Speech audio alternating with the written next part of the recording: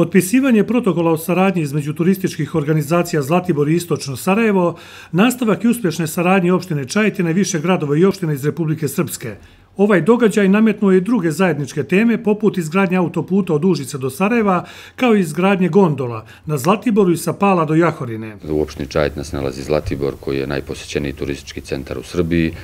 Na području grada Istočnog Sarajeva je Jahorina, olimpijski centar Jahorina, koji je najznačajniji turistički centar u Republici Srpskoj i pre svega očekujem da ćemo u nekoj budućoj saradnji imati razmenu iskustava kada je u pitanju e, turizam, promocija turističkih potencijala, ali ne samo turizma, već i u privrednoj saradnji, kulturnoj, sportskoj. Zaista mislim da ima dosta mogućnosti za tu saradnju i siguran sam da će ona biti uspešna, a sasvim sigurno ćemo konkurisati i za neke buduće projekte koje finansira Evropska unija, tiču se prekogranične saradnje, jer imamo dosta toga zajedničkog. Zlatibor i Jahorina nisu konkurencija i zato zajedničkom ponudom treba da odgovore sve probirljivim zahtjevima turista, smatra gradonačelnik Istočnog Sarajeva Nenad Vuković. Pitanje dvije gondole,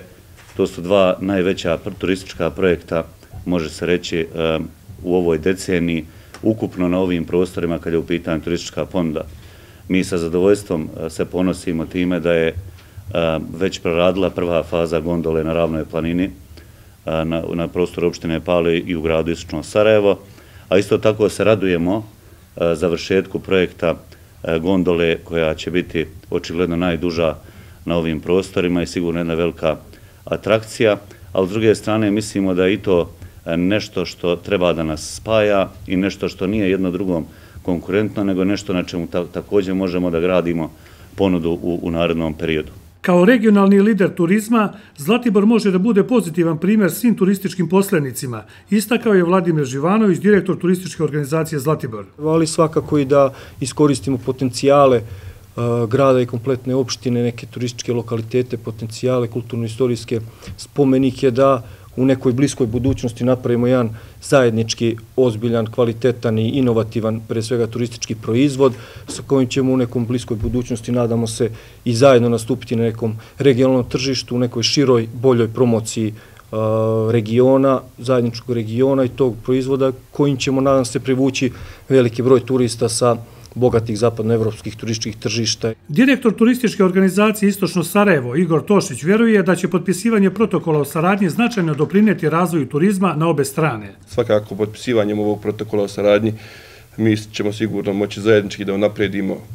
i samu promociju kroz neke zajedničke nastupe, naše zajedničke aktivnosti, e, kroz aplikaciju u evropskim fondovima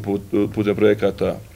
prekogranične saradnje i kao što je Vladimir govorio, možda kreiranjem nekog zajedničkog turističkog proizvoda koji će sigurno da bude interesantan i da probudi interesovanje, jer iza njega stoje faktički dva brenda. Jedan je e, Republike Srbije, to je Zlatibor, a drugi je Republike Srpske, to je Jahorina. Zahvaljujući ovoj planinskoj lepotici, istočno Sarajevo je nakon Banja Luke i Trebinja treći grad u Republici Srpskoj koji je nedavno dobio status turističkog mesta.